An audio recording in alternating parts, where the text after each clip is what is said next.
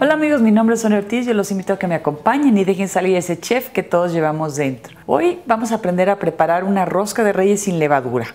Para los principiantes o los que no quieren batallar tanto de dejarla que se esponje, que se infle y aplastarla y no sé cuánto, vamos a hacer una rosca de reyes con todo el sabor de la rosca de reyes, pero un poquito más sencilla.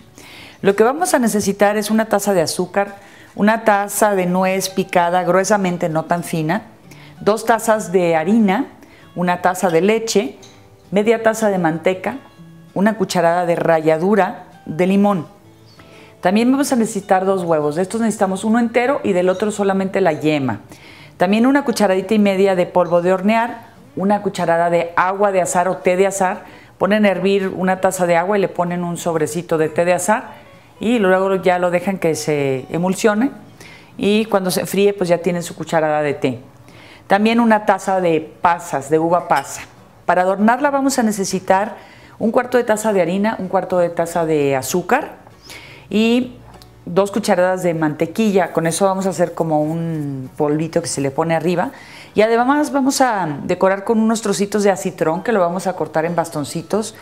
Le pueden poner fruta cristalizada. Aquí tengo una piña y tengo algunas este, papayas para darle color de la que tengan. Otra cosa muy importante es que necesitamos un poco de manteca y harina para engrasar muy bien el molde. Tiene que estar engrasado y luego enharinado para poderlo desmoldar. Por eso sí es muy importante porque si no se les va a pegar todo. Una cosa importante de recalcar es que esta harina debe estar cernida antes de medirla. Como quiera, ahorita la vamos a volver a cernir. Y esto es porque no estamos usando peso, sino volumen. Entonces el volumen tiene que ser uniforme. Vamos a agregar la harina con el polvo de hornear y el azúcar en un cernidor y vamos a cernir esta mezcla. Bueno, lo primero que vamos a hacer es colocamos la media taza de manteca, que por cierto la medimos una taza de agua y sumergimos suficiente manteca para que suba una y media y ya la escurrimos muy bien. Aquí tengo ya la manteca, la vamos a batir hasta que se haga cremosa con la batidora eléctrica, que se haga bien cremosita, suavecita. Y en ese momento paramos. Ya que tenemos nuestra manteca bien cremosita, eh, vamos a hacer el resto con manualmente con una pala de estas miserable que le llaman, palita pastelera o como le quieran llamar. Aquí le vamos a agregar la yema, el huevo, la leche, el agua de azar, eh, también la ralladura de limón. Vamos a alternar también con los ingredientes secos que ya teníamos hernidos y vamos a incorporar muy bien a mano con la palita.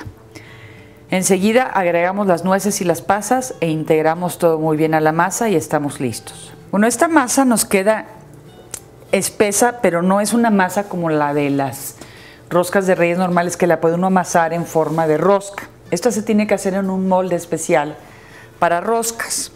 Eh, el molde especial para roscas pues es como un molde de pastel que tiene en el centro pues una pues un centro, ¿verdad? un círculo.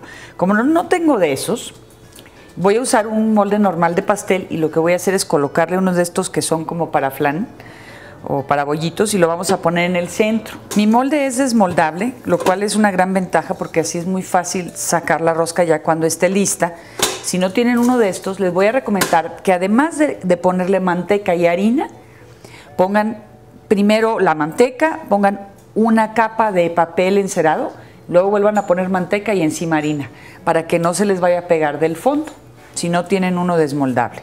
A continuación vamos a proceder a engrasarlo, eh, todo muy bien, y ponerle harina y luego engrasamos, le ponemos harina al moldecito y lo ponemos en el centro, vaciamos la mezcla y estamos listos casi para hornear. Y pues ya tenemos la masa en su lugar. Si tuvieran monito de esos para la rosca, pues si lo pueden meter y por algún lado y ahí queda suspendido en el centro, así es de que pues yo no tengo monito porque pues estamos en diciembre apenas cuando estoy grabando esto, pero bueno, ustedes sí lo van a encontrar en enero, así es de que no tienen excusa de no ponerle mono. Eh, enseguida le vamos a, a, hacer el capricho, que es una decoración de arriba. Vamos a poner el cuarto de taza de azúcar y el cuarto de taza de harina en un tazoncito. Mezclamos los dos ingredientes y aquí vamos a ir incorporando con los dedos la mantequilla, tomamos un trocito y la vamos a ir sobando con la manteca para integrarla dentro de la mezcla.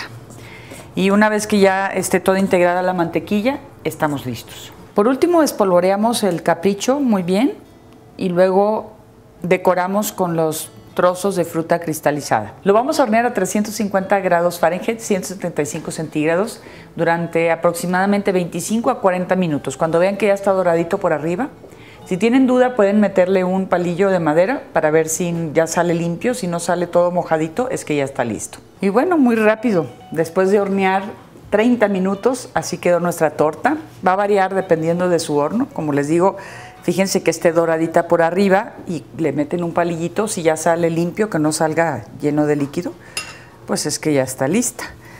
Vamos a ver, voy a cortar un pedacito a ver qué tal nos quedó esta rosca.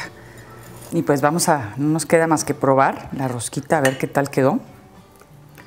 Mm. Mm. Pues miren, no será de levadura, pero la verdad tiene todo el sabor de la rosca de reyes. Y si no se quieren complicar la vida, es una excelente opción. Gracias, esto es todo por hoy. Hasta la próxima.